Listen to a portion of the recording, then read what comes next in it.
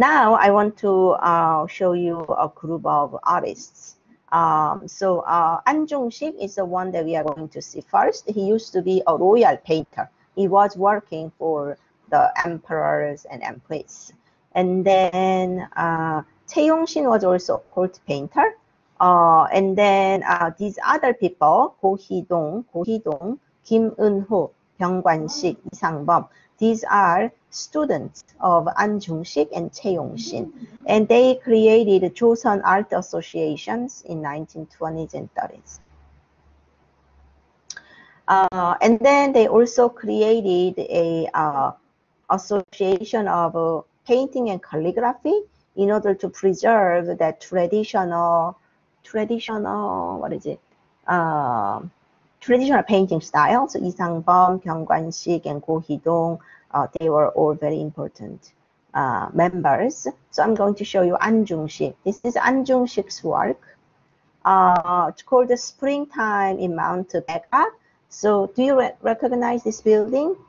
So this is Gyeongbokgung Palace. And then the, the big mountains right behind. Uh, and then you can see a tiger uh, on the, in the front of the palace. Um, so this was painted uh, in 1915, but this is already when the country doesn't exist. Uh, 1910, right? Like 1910, Joseon does not exist anymore. So uh, he misses uh, the the old glory of Joseon dynasty.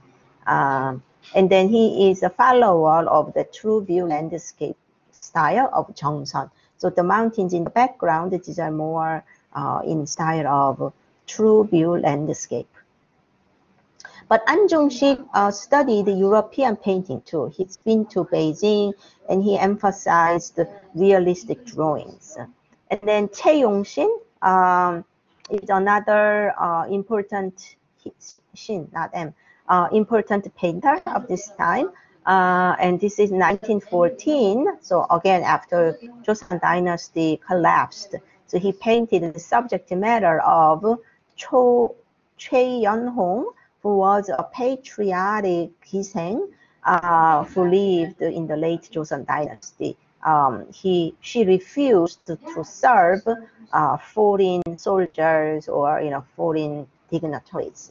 Um, so depicted in this manner. It's almost like a, a virgin and child of European tradition, right? The mother holding the, the, the child uh, usually Giseng does not get married. Um, so uh, people in early 20th century, they were uh, influenced by uh, European uh, painting style. And Go Hee-dong is really remarkable. Um, so Go Hee-dong uh, was born in a pretty good family. I think their families were translators, well wealthy. Um, and um, he started uh, learning the traditional painting and Confucian literature, but he decided to go uh, Japan. So he was the first Korean painter who studied in Japan and came back. So when he was studying in Japan, he learned how to use oil. So he's considered the first oil painter in Korean history. So if you look at Go Hee-dong as a young man here, right, short hair, can you recognize what the season might be? Out of four seasons, which season would this be? Summer. Summer, right? How do you know it's summer? Um, cause he's holding a um, what, what was it called? Uh, hand fan. Fan, fan. yeah, hand fan. And then and his upper shirt is open. Right. So uh, this is a transparent, uh, ramie shirt. Uh, and you know this shows it's really really hot summer. It's maybe like August, right? Really hot, and he's in you know in his room. But it shows him as a modern man, like a um, he didn't follow the traditions of Confucian portraiture, where you have to wear that proper attire for your rank, right? He it's totally a modern uh, person in a way, right? It's, it's at the time it was a summer and it was very hard. He probably had a mirror in front of it, you know, to see himself. So he decided to show him in this manner. and then he has books. These are, you know, European or modern books, right? Not, not the traditional books. He has many books, so he's reading. And behind him, this is framed landscape painting, probably his own work. Um, so he's, he's a modern man. That's what he's showing in his own self-portrait. Um, so this is Ko Hee-dong's house. His house is well preserved uh, as a um, building representing sort of a um, traditional Korean house, but a little bit of Japanese influence, and then also modern elements, um, so that the hallway uh, is covered, uh, and then the roof uh, is really long, so that this area is not wet even it rains.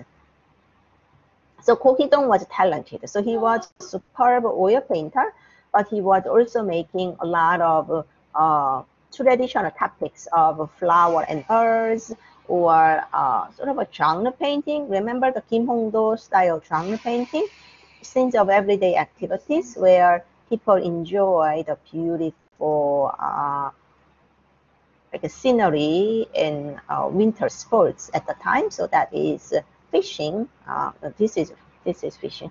Fishing uh, on the ice. So you make the hole and then you are uh, fishing, and this is the typical like a, a, a, winter gear. You are going to have a inner hat so that it covers your ear and then the back. Um, and then let's talk about avant-garde. Can anybody explain what avant-garde means?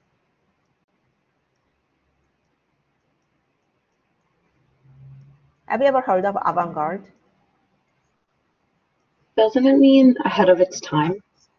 Yeah, ahead of its time. So originally, avant-garde is a military term meaning uh, a person who um, who reports ahead of the guard, like ahead of the other soldiers.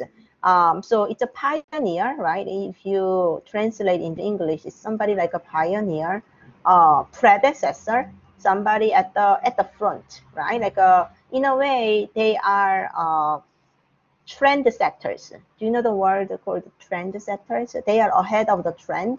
Um, so they are going to set the tone to the followers and so forth. So these are examples of avant-garde art, how they were received by the audiences. So Kim Kwan-ho uh, was, uh, was an artist who studied in Japan. So a typical pathway for artists is, again, after 1910, there is no country called Korea, right? So uh, Korean colonized citizens were also considered part of Japan. So it is natural for them to go to Japan, like uh, meaning Tokyo, the capital of Japan at the time, and study a little bit more advanced subject matters such as law, right? In order to be a lawyer or medicine, and then uh, other types, and including arts. Uh, Japanese government will eventually create these medical schools or legal legal universities, law universities in Korea, uh, but that is a little bit later in 1920s. So uh, 1910s, people were going to Japan. So Kim Kwan-ho went to Japan to study art, Tokyo uh, School of Fine Arts at the time, the most uh, celebrated one. And then he painted uh, nude. Can you imagine in Neo-Confucian society that somebody paint nude painting and exhibit it? What, what would the audiences feel? So it's totally, uh, how can I say, uh, unexpected. So they think that modern art, right, like uh, oil art, oil painting, like a modern art is decadent. You know the word decadent? Uh, that decays the spirit of the public and that is not moral, like uh, it really uh, ruins the public sentiment and so forth. And so uh, this was well received in Japan uh, as his graduation project, but um, he cannot think of showing to the Japan, I mean to the to the public in in Korea. And this is a newspaper article. It's more like a caricature. So uh, here, what they are saying is, um, you know, they went to a, a, a, boy and a mother went to the uh, art exhibition and there is a reclining nude. Uh, and then the the boy said just like a any usual uh, reader of the newspaper say mom look at this. There is a, a naked lady lying down uh, and why is she you know why did she take off her clothes